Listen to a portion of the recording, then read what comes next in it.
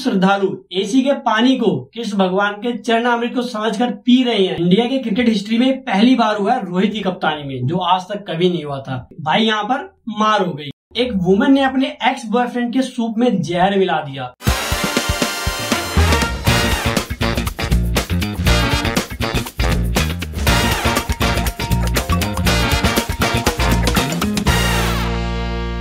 नमस्कार, आप सबका फिर से स्वागत है द वीकेंड शो में। एक ऐसा शो जहाँ पर हम बात करते हैं न्यूज़ की थोड़ा एंटरटेनमेंट के साथ।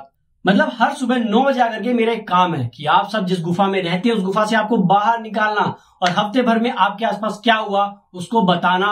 मतलब उसको आपको बताना एक एंटरटेनमेंट के वे में, ऐसा परोसना। इस हफ़्ते की सबसे बड़ी खबर है यूएस इलेक्शन 2024 जिसमें डोनाल्ड ट्रंप क्या करे? मोदी जी भी तो ऐसा ही बोलते हैं।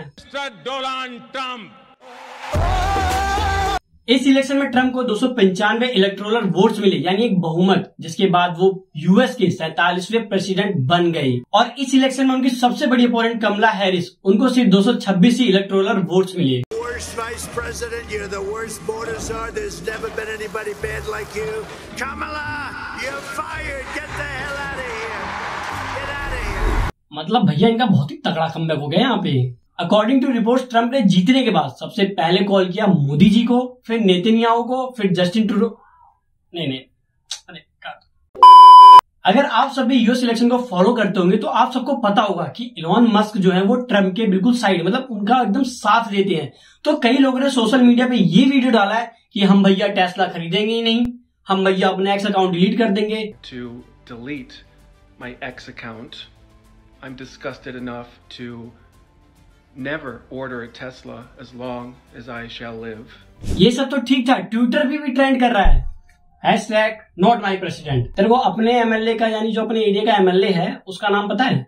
मुझे उससे क्या?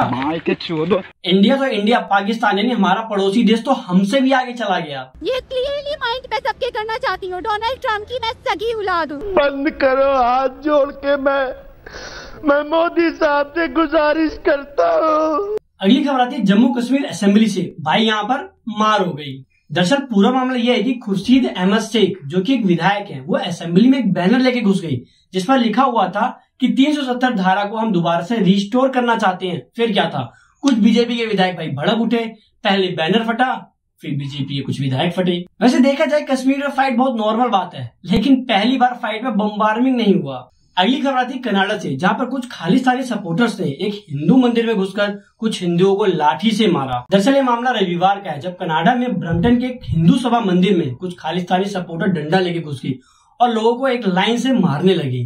दरअसल वहाँ के कुछ लोगों का ये भी कहना है कि जो वहाँ की पुलिस है, वो भी खालिस्तानी सपोर्टर्स को सपोर्ट करती है। अगली खबर आती है यूपी से, जहाँ पे योगी आदित्यनाथ को एक धमकी मिली है कि अगर आपने 10 दिन में इस्तीफा नहीं दिया तो आपका भी वही हाल करेंगे जो बाबा सिद्दीकी का किया था। By the way all baba is not baba Siddiqui भैया बुलडोजर बाबा है वो सीधा मौत से टक्कर ले रहे हो। मरना तेरे को डर नहीं लगता? अगली खबर काफ़ी अलार्मिंग सिचुएशन को दिखाती है। दरअसल अभी हाल ही में सऊदी के रेगिस्तान में बर्फबारी हुई और सऊदी के इतिहास में ये पहली बार हुआ। मेरा ज़िंदगी है ऐसी ज़िंदगी। All thanks to global warming और अगर अभी भी पूरे वर्ल्ड ने मिलकर के कोई कड़े कदम नहीं उठाए तो शायद हम आगे कुछ कर भी ना पाए। झीलों का शहर दिल्ली को तो बनते हुए देख लिया। बस केजरीवाल जी एक बार दिल्ली में बर्फ़ भी गिरवा दीजिए। कश्मीर जाने का थोड़ा खर्चा भी बच जाएगा।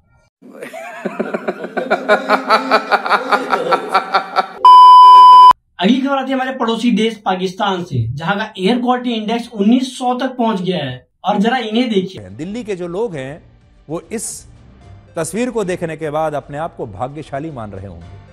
खुश हो रहे होंगे। मतलब आपका बच्चा अगर एक दारू की बोतल पीता है तो अच्छी बात है। क्यों? क्योंकि आपके पड़ोसी का बच्चा 20 बोतल पीता है। थोड़ी मर्यादा रखिए। और पाकिस्तान की सरकार भी बिल्कुल दिल्ली की सरकार की तरह खेल रही है। ब्लेम गेम कि भैया वहाँ से आया वहाँ से आया पोल्यूशन वहाँ से आया। पाकिस्तान वाले क्या बोल रहे हैं? हमें कुछ नहीं पता सारा पोल्यूशन इंडिया से आया भैया। बड़े खतरनाक लोग हैं। अगली खबर आती है फ़ेमस सिंगर सिद्धू मूसेवाले के घर से जहाँ पर उनके पेरेंट्स ने पहली बार सिद्धू मूसेवाले के छोटे भाई की फ़ोटो सोशल मीडिया पर डाली। जिसके बाद काफ़ी लोगों ने उसे पसंद भी किया काफ़ी लोगों ने ट्रोल भी किया। अब कुछ भी गए लेकिन ये वाला कमबैक ना भाई काफ़ी पर्सनल है। अच्छा मान लो आपने बचपन से इंटरनेट यूज़ ही ना किया हो। मतलब आपको इंटरनेट तो है बट उसको फ्रीडम ही नहीं यूज़ करने का। और आपको बाई चांस बाई चांस कहीं मिल गया इंटरनेट यूज़ करने को एकदम फ्रीडम के साथ। तो सबसे पहले क्रोम पे क्या सर्च करोगे?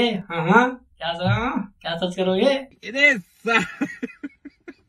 दरअसल ये खबर है नॉर्थ कोरिया सोल्जर्स की जब रशिया यूक्रेन वॉर के दौरान उन्हें इंटरनेट यूज़ करने का मौका मिला यानी फ्रीडम मिला तो भाई साहब ने क्या सर्च किया? पॉन क्योंकि मैं आपको बता दूँ कि नॉर्थ कोरिया में इंटरनेट यूज़ करने का फ्रीडम नहीं है। यहाँ तक कि वहाँ पे आप यूट्यूब भी यूज़ नहीं कर सकते। अरे यूट्यूब अरे हमारा चैनल भैया बस कर दो। क्या? बस कर दो भैया। बस कर दो।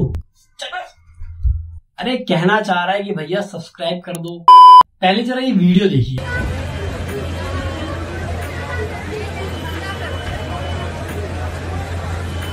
दीदी ये एसी का पानी है ये चरणों का पानी नहीं है ठाकुर जी के। अब आप इसे आस्था कहेंगे या अंधविश्वास? दरअसल ये वीडियो है यूपी के बाके बिहारी मंदिर की जहाँ पर कुछ श्रद्धालु एसी के पानी को कृष्ण भगवान के चरणामृत को समझकर पी रहे हैं। अगली खबर सुनोगे तो केयरिंग फॉर शेयरिंग बोलना भैया, बिल्कुल भूल जाओगे। दरअसल हुआ यूँ, एक वुमेन ने अपने एक्स बॉयफ्रेंड के सूप में जहर मिला दिया। जिसके बाद उसके एक्स बॉयफ्रेंड ने क्या किया? जो हम आम लड़के करते हैं। भाई, दोस्तों के साथ शेयर करते हैं, उसे अपने पाँच दोस्तों के साथ वो सूप को शेयर किया और पाँचों की डेथ हो गई। अगर बोला जाए पबजी की भाषा में। तो लड़की ने वन वर्सेस फाइव कर दिया, बिल्कुल कच मार दिया। इंडिया के क्रिकेट हिस्ट्री में पहली बार हुआ रोहित की कप्तानी में, जो आज तक कभी नहीं हुआ था कि इंडिया अपनी ही ज़मीन पर कभी भी एक टेस्ट सीरीज़ में पूरी तरह व्हाइट वॉश नहीं हुआ था। All credit goes to New Zealand team अभी चल रहे India versus South Africa T twenty series के पहले मैच में संजू सैमसंग ने अपना लगातार दूसरा शतक लगा दिया। और ऐसा करने वाले वो पहले भारतीय भी बन गए।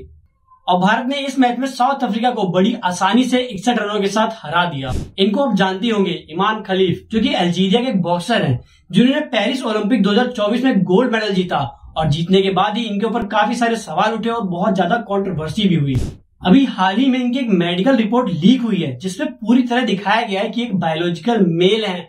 बायोलॉजिकल मेल बोले तो इनके अंदर एक्स वाई क्रोमोजोम पाए गए मतलब एक्स एक्स क्रोमोजोम नहीं पाए गए थोड़ा मैं सिंप्लीफाई करता हूँ कि मेल्स में सिर्फ़ एक्स, वाई क्रोमोजोम ही पाए जाते हैं। वहीं फीमेल में सिर्फ़ एक्स एक्स पाए जाते हैं। तो इनके अंदर सिर्फ़ एक्स, वाई क्रोमोजोम थे।